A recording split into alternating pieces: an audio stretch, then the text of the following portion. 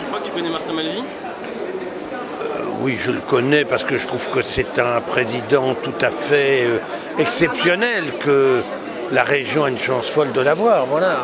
C'est pas malheureusement, il n'est pas mon ami, c'est quelqu'un pour qui j'ai beaucoup d'estime et de respect. Et alors peut-être tu auras un petit mot de soutien ou un, mot de ah ben, euh, mon amitié, mon estime lui est tout acquise. euh, je pense qu'il le sait, ou en tout cas il s'en doute, puisque je reviens ici tous les ans et après avoir été le parrain, je continue à venir. Donc euh, il n'y a pas d'opportunisme de ma part à son égard, en tout cas. Alors je crois aussi que tu vas manger avec lui. Qu'est-ce que qu'est-ce que tu aimerais bien manger un produit local euh, Mais j'en sais rien, c'est lui qui va me faire découvrir des produits locaux. C'est pas à moi de le faire, c'est sa région, c'est pas la mienne. Merci Jean-Pierre. Je vous en prie.